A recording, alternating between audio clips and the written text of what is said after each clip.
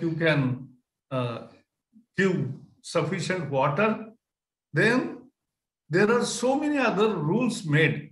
And what will happen to though that material collected from demolition? So in Delhi, there are three factories.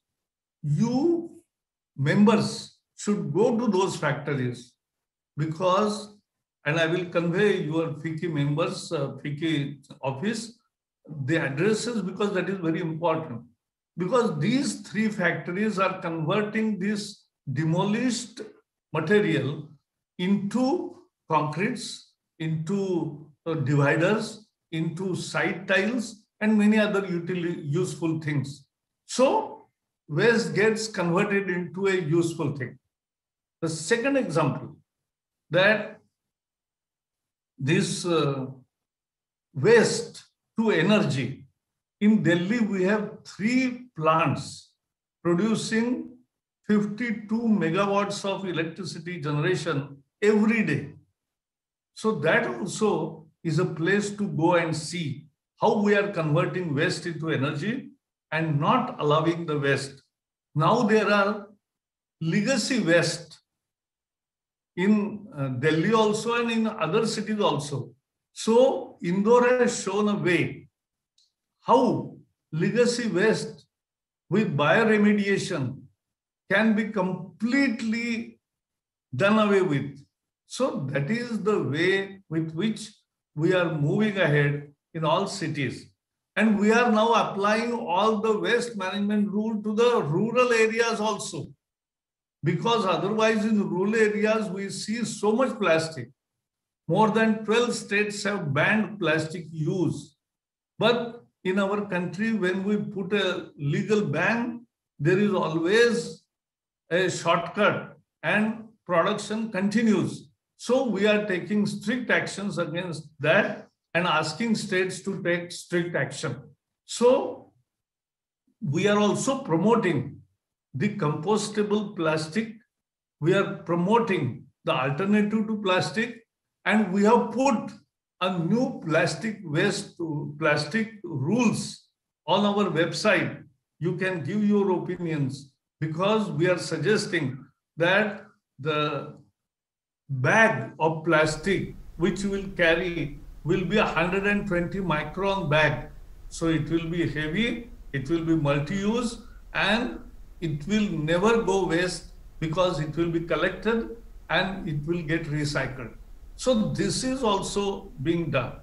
The fourth important aspect is even our water. So at water you see in Ganga, we have hundreds and thousands of monitors at different places.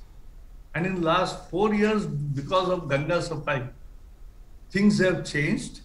But can you understand for 65 years, we have, we were processing only 35% of sewage. 65% used to go into rivers ultimately. Now, with 10 crore toilets built, in the rural areas, they have been made more useful and creating bio uh, fertilizer. At the same time, we are now creating, augmenting capacities in the last seven years. We have invested more than 80,000 crore rupees in effluent treatment plants. So that also has seen how Ganga also has improved. But in Delhi, Yamuna has not improved. So now we are now monitoring on Yamuna also.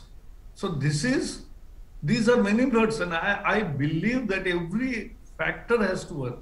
But my last point, it is to be citizen participation. It is to be orientation of children. But orientation should not be that India is that India has done something wrong. We have not done wrong the developed world has done this climate change.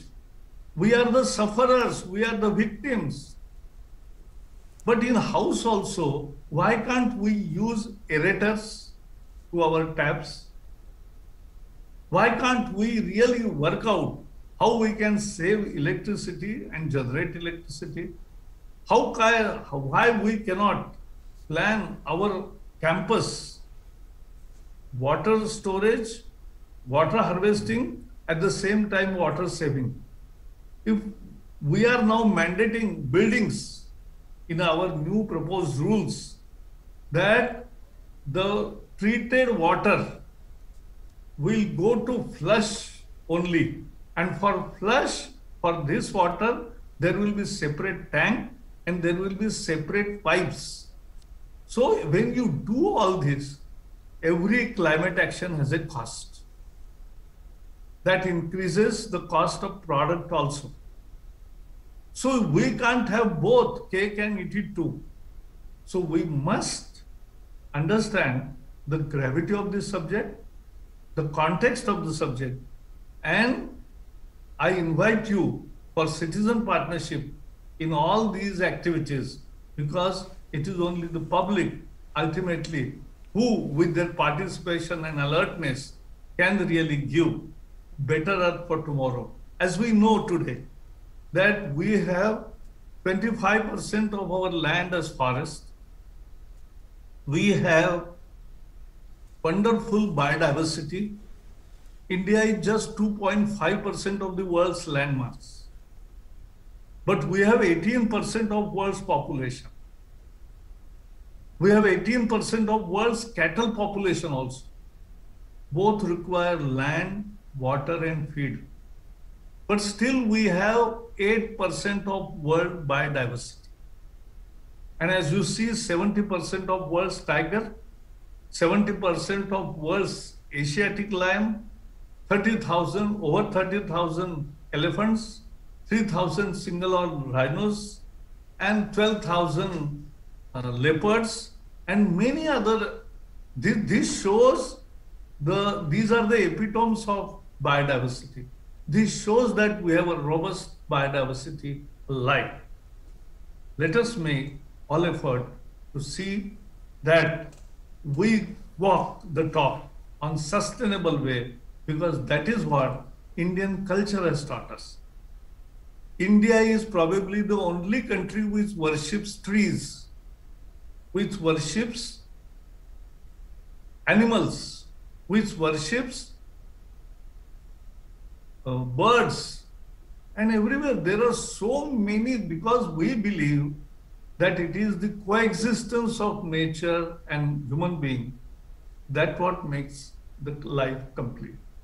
Thank you so very much. I was very happy to have dialogue with you.